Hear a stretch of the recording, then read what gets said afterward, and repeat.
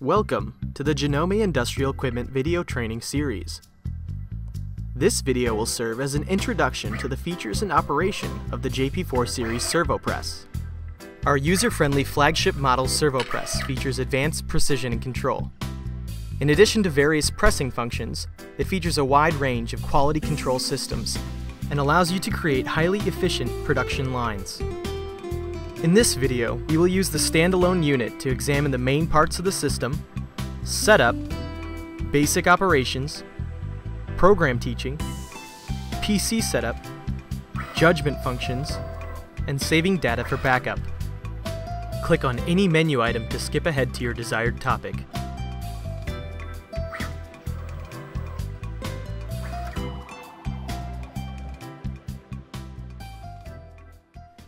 There are three types of electropress the standalone, head, and unit types, with the pressing capacity ranging from 0.5 to 120 kilonewtons. They are each equipped with I.O. for controlling various systems and are designed for a wide variety of uses, from automation systems to desktop use. With an AC servo motor, precise ball screw, and original load cell incorporated into the RAM, the electropress performs clean and quiet pressing and accurate positioning. These are housed in the main body supported by a column with a flat base. The switch box located here displays a two-hand start button system as well as an emergency stop switch. The power breaker is located on the side near the model information label.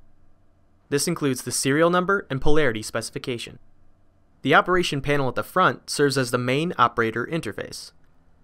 We see a power lamp and an alarm speaker above a compact LCD screen. Below the keyboard are the home position return switch and select key switch, allowing program editing to be limited to authorized personnel only. The rear panel contains the available connectors. The ElectroPress comes with a standard RS-232C and optional serial Ethernet connector to transmit data to a personal computer for quality analysis and other purposes. The IO-SYS connector allows for external systems via discrete control. The I.O.S. port connects to area sensors such as a light curtain. For power, the single-phase models have an inlet, and the three-phase option comes with a power cable connected directly to your 180 to 250 volt AC power source. And this concludes the section for the main parts of the system.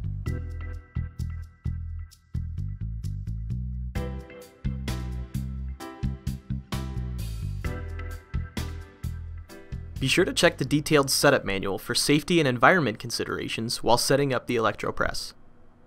To protect the press from damage, make sure all power is off while connecting or disconnecting wires. Attach the supplied I.O.S. connector and power cable. These are the minimum connections required to power on your system. The optional Ethernet connection can be made for serial communication, as well as the I.O.SYS cable for discrete I.O. capability. This concludes the setup section.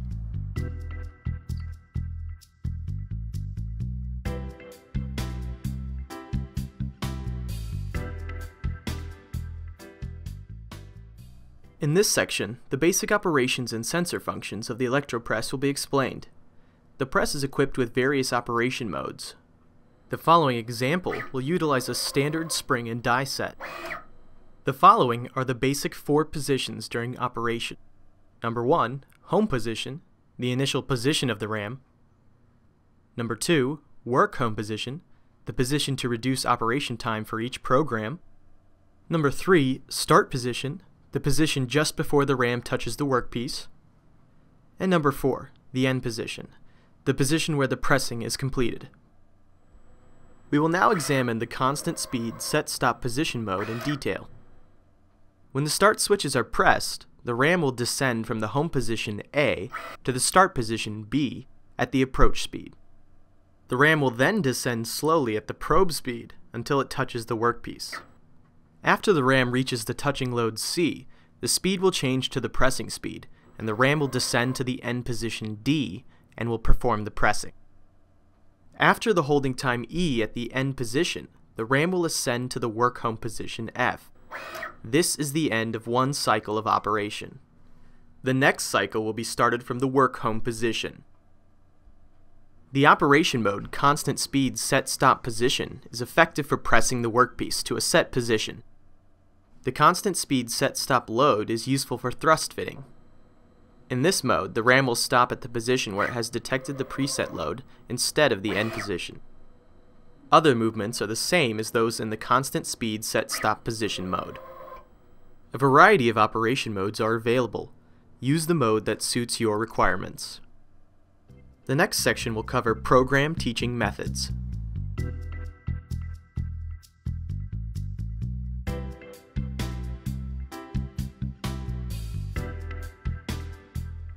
Programming can be accomplished through the operation panel when the selector key is switched to teaching mode. When the press is powered on, the following message is displayed. Press the home position return switch slowly. The message returning to home position will be displayed on the LCD screen and the RAM will slowly ascend to the home position. After the RAM has reached home position, the message shown will be displayed. This message will appear if there is no program that contains teaching data.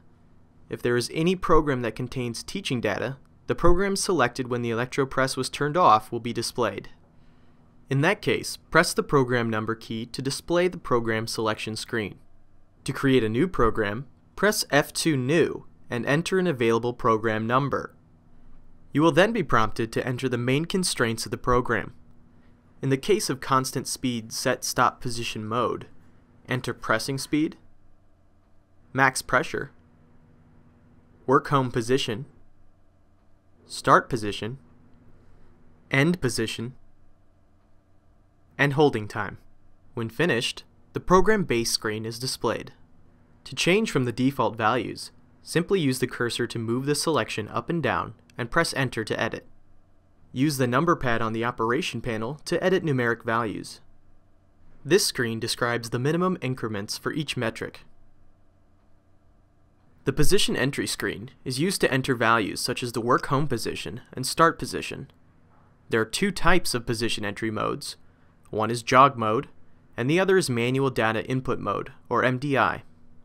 On the position entry screen in the MDI mode, the current RAM position and load will also be displayed as reference values. The RAM can be incrementally jogged into place using the start buttons to create a new position. To do this in the position entry screen, press both start switches to lower the RAM. When the RAM reaches the target position, release one of the switches to stop the movement. Release both start switches to raise the RAM. Fine-tune the RAM's position using this method. When the position is adjusted, release one of the start switches and press the J-Use key to fix the location. Using the methods in this section, a user-created program can be made.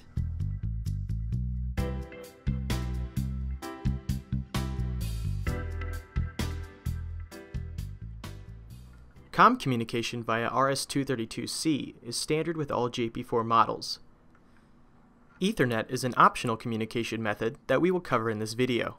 To ensure successful communication, manually set your PC IP address. To do this, Select Control Panel from the Start button menu, and select Network and Sharing Center to bring up the following screen. Click on the Ethernet Local Area Connection, and select Properties. Confirm whether the Internet Protocol version 4 checkbox is selected, and if the checkbox is not selected, check it, and click the OK button in order to save the changes. Select Internet Protocol version 4, and click the Properties button. The Internet Protocol version 4 window is displayed, Click Use the following IP address and set the IP address manually. Set the subnet mask as 255.255.255.0. It is not necessary to set the default gateway.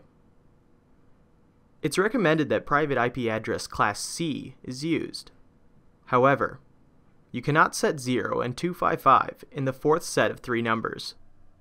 In this example, 231 are used in the third and fourth sets respectively. Click OK to set your values. With the JP4 and PC connected, start JP Designer.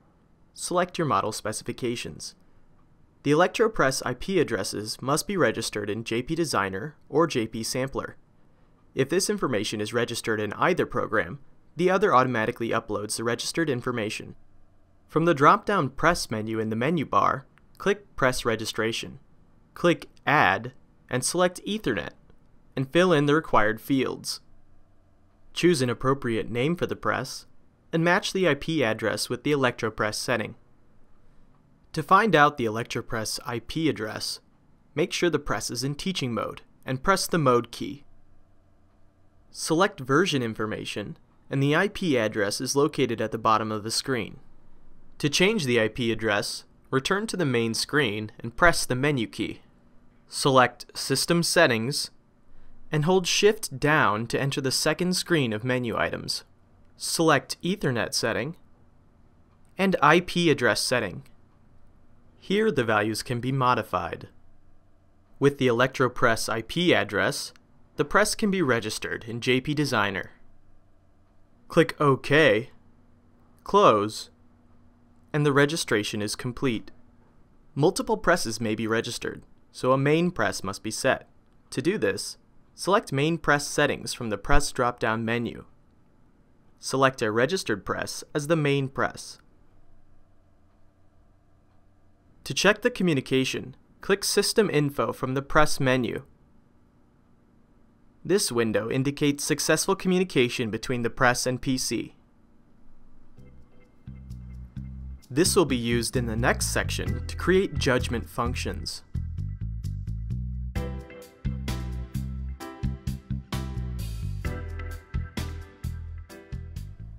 The ElectroPress has various sensor functions, in this section, the load judgment within a position range in the constant speed set-stop position mode will be explained.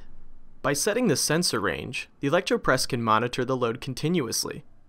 The sensor allowable range can be set by designating the upper and lower load limits at the sensor start and end positions. If the load falls outside the sensor allowable range, the RAM will ascend and an alarm will sound. The LCD screen will display a fault sign, as well as the load and position information when the fault occurred. If the press is set to record data, the sampling file will contain this information as well. Other sensor settings are the position judgment at the start position, distance judgment at the end position, and load sensor at the end position. Load sampling modes such as peak, bottom, etc. are also available. For other modes, other sensor settings are available, Select the desired sensor settings for your purpose. To set a sensor window, it's best to use actual workpiece data retrieved from several cycles. The following example assumes that you are pressing a pin into a workpiece to a preset depth. A punch is attached to the RAM, and the movement conditions are set to the constant speed set-stop position mode. A ball bearing is pressed through a bushing made of several materials. Data retrieval is achieved through the sampler program, Set the active press in the Press pull-down menu. Multiple presses can be active for sampling with the proper connections. Each active press will occupy one section of the screen. To specify a file location, click the Specify Sampling File icon. Click Change to modify the file location for the sampling data which will be input into a .csv file. Click Sampling Time Settings to adjust the sampling resolution time interval. The ElectroPress can output a maximum of 20,000 data points with a minimum 1 millisecond interval. Click the QT icon, which represents quality and time series data, and JP Sampler is ready to record the information. In the Press Run mode, run the desired program. The JP Sampler program will have a window that changes color to blue for a successful run, or red in the case of an error. Double-click the colored window to see the load position graph, as well as cycle history. This screen may act as a monitor during operation. In the main window, click the stop icon to close the program. Open JP Designer and click Receive Data from the Press drop-down menu. Once the press settings have downloaded, click Open Sampling File from the File menu. Locate the .csv sampling file and the load position graph will appear in the top window. Click Add Sensor from the Edit drop-down menu. Select the program number and sensor type. As stated earlier, a wide range of sensor types are available. Click the OK button and the sensor will be added to a program tree on the left. Set the window parameters around the graph features that you would like to control. In this example, for sensor load position range, the sensor beginning and end positions are set relative to mechanical home. The upper and lower load limits are set at the ends of this range. The sensor will activate if the range limits are violated. As an alternative to manual input, click on the corners of the window to drag them. In this example, only one cycle is used for reference. When specifying your system, multiple cycles will improve knowledge of the tolerances involved. Once the judgment windows have been created, send data to the press for program testing. Open JP Sampler and change the sensor CPK setting to valid in the View menu. Click the QT icon to ready the program for data collection. Run the press program, and you will be able to view the results in the Sampler program window. At the highest data resolution setting, the load position data is transmitted in seconds. This data is also available in the front panel screen by pressing the display button twice. To demonstrate an undesired variant, a smaller ball bearing is used. The press fault conditions may be set to stop on fault, or in this example, continue on fault. When the sensor window conditions are violated by the small ball bearing, the RAM ascends and the alarm sounds. The data is output to JP Sampler. Check the box marked Graph Overlapping to see the historical data. Both the graph and the cycle history show a lower limit sensor error in this example. When the standard ball bearing is reloaded, the sensor conditions are met. In JP Sampler, the red line representing the most recent graph data is updated. Use these sensors to specify your quality control.